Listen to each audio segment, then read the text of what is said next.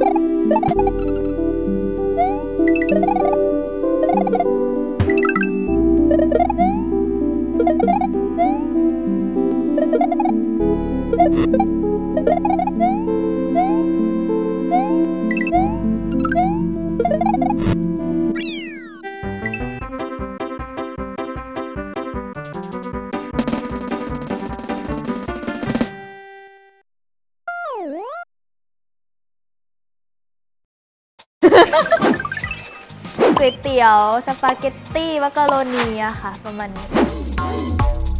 เอ่อจริงๆ หนูกลัวสัตว์อะไรที่แบบยึกยืยึกยืด้วยอะตะขาบหนอน ก็คงจะเป็นฮือเฮ้ยไม่รู้อุ้ยแต่ช่วงนี้หนูติดปากคำว่าอจุ้ยค่ะอจุ้ยกล่องฟันค่ะไม่เคยค่ะ เป็นท่าบนที่เท่เหรอคะ superstar. Life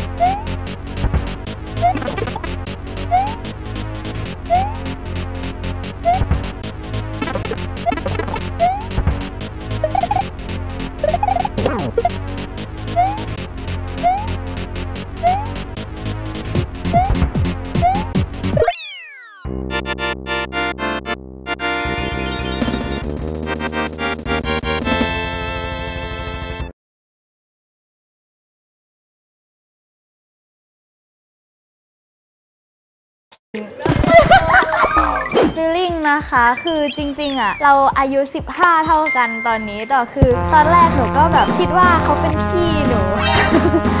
พอแบบอยู่กับพี่ฟีลลิ่งก็เลยแบบเนี่ยติดปากพี่แหละฟีลลิ่งค่ะ